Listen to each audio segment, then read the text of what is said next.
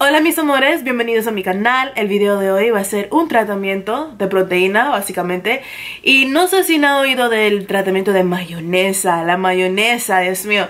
Este tratamiento tiene generaciones que lo hemos usado, mi abuela lo usaba, mi mamá me lo usaba a mí y yo lo uso, pero lo único que odio es que es bien regateroso y bien como que aquí, no sé.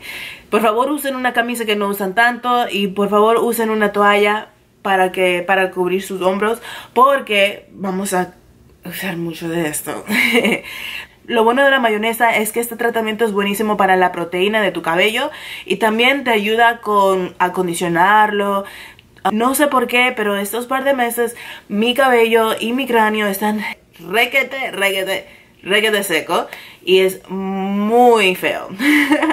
Cada vez que hago así o algo, ay, me pica, me pica el cráneo, todo, es como que no sé.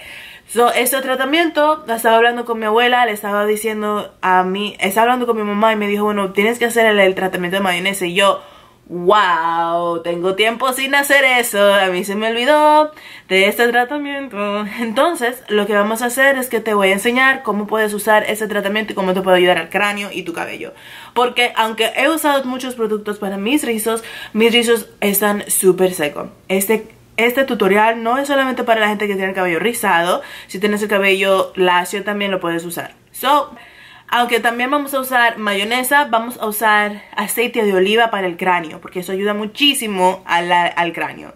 So, también le voy a enseñar qué producto uso después que me hago este tratamiento para lavarme esta mayonesa del cabello. Porque obvio no vamos a caminar con mayonesa en el cabello acá oliendo a mayonesa. Fo. So, no.